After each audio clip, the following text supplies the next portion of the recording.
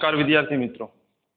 આજના લેક્ચરમાં આપણે વાત કરવાના છીએ પ્રકરણ છ, કંપની સભાઓ અને એનો મુદ્દો છે કાર્યસૂચિ, એટલે કે એજન્ડા. સભાઓની અંદર જે કાંઈ પણ કાર્યો થાય છે, એની અગાઉથી કાર્યસૂચિ તૈયાર કરેલી હોવી જોઈએ. એનો અર્થ જોઈએ તો કંપનીની સભામાં જે કાર્યો કરવાના છે તેની ક્રમવાર યાદી. કંપનીની સભામાં જે કાર્યો કરવાના છે, જો એની ક્રમવાર યાદી અગાઉથી નક્કી કરવામાં આવે, તો સભ્યને જાણકારી રહે સભ્યને મત આપવો કે ન આપવો સભ્યને એમાં ઇન્વોલ્વ થવું કે ન થવું, આ તમામ બાબતોની અગાઉથી જાણ થાય. એટલા માટે એજન્ડા કાર્યસૂચિનું બીજું નામ છે એજન્ડા સભામાં જે કાર્યો કરવાના છે એની ક્રમવાર યાદી મોકલવી, યાદી બનાવવી, ક્રમ બાય ક્રમ, એક બાય એક પછી એક જે કાર્યો કરવાના છે એની તમામની યાદી બનાવી લેવી. એનું નામ છે એજન્ડા અથવા બીજું નામ છે કાર્યસૂચિ. એટલે કે જે કાર્યો કરવાના છે અથવા બીજી રીતે કહી તો જે કાર્યો હાથ ધરવાના છે એની ક્રમવાર યાદી એને કહેવામાં આવે છે એજન્ડા.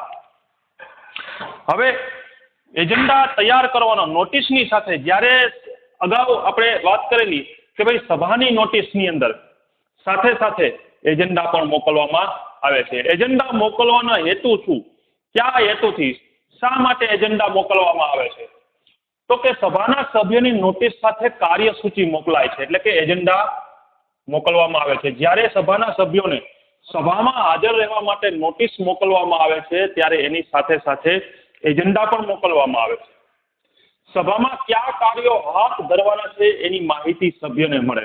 જો સભ્યને મેં અગાઉ વાત કરેલી એમ, સભ્ય અગાઉથી જાણતો હોય કે સભામાં કયા કયા કાર્યો વિશે મતદાન કરવાનું છે, કયા કયા કાર્યો વિશે ઠરાવો પસાર કરવાના છે, કયા કયા પ્રસ્તાવો રજૂ થવાના છે, તો માનસિક રીતે અગાઉથી કોઈ પણ સભ્ય છે સભામાં આવતા પહેલા તૈયારી કરીને આવે અથવા તૈયારી એટલે સભામાં જે કાંઈ કાર્યો હાથ ધરવાના છે એની માહિતી સભ્યને મળે એટલા માટે જ્યારે સભાની નોટિસ મોકલવામાં આવે છે, તેની સાથે સાથે એજન્ડા એટલે કે કાર્યસૂચિ પણ મોકલવામાં આવે છે.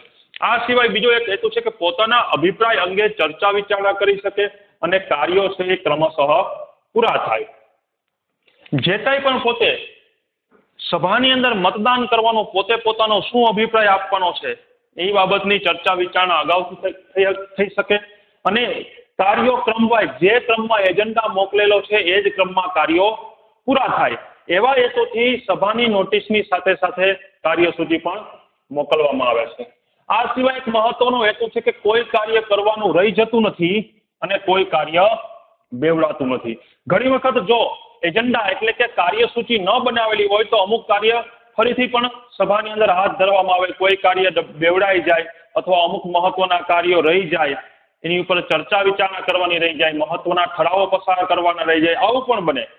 તો કાર્યસૂચિ જો અગાઉથી મોકલેલી હોય તો કોઈ કાર્ય બેવડાય નહીં અને કોઈ કાર્ય કરવાનું રહી ન જાય. એટલા માટે સભાની નોટિસની સાથે કાર્યસૂચિ પણ મોકલવામાં આવે છે. બીજું કે તમામ કાર્યો જે વન બાય વન ક્રમ બાય ક્રમ જે હાથ ધરવામાં આવે છે એ કાર્યસૂચિ પ્રમાણે હાથ ધરી શકાય.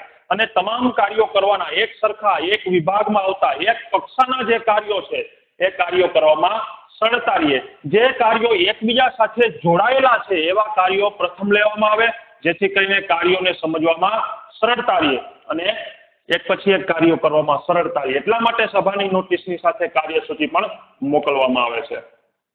બીજું મહત્વનું એ છે કે સભા દરમિયાન ચેરમેનને સેક્રેટરી કાર્યસૂચિ પર નોંધ રાખશે કોઈ પણ સભાની અંદર, સભાનો જે મહત્વનો વ્યક્તિ છે, સભાપતિ એટલે કે સભાનો પ્રમુખ, અને એને નામ બીજું એક નામ આપવાનું આવ્યું છે, સભાનો ચેરમેન.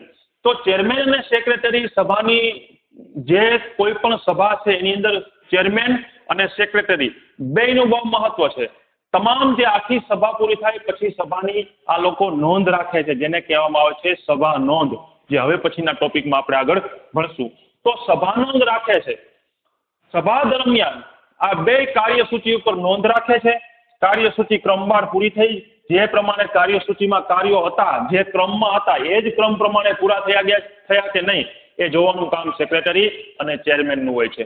તો મહત્વની બાબત એ છે કે ચેરમેનને સેક્રેટરી આની ઉપર નોંધ રાખે એટલે કાર્ય છે વ્યવસ્થિત અને ક્રમબદ્ધ દરેક થાય. હવે આપણે મિત્રો વાત કરશું કે ભાઈ સભા કાર્યસૂચિ અંગે સેક્રેટરીની શું ફરજો છે?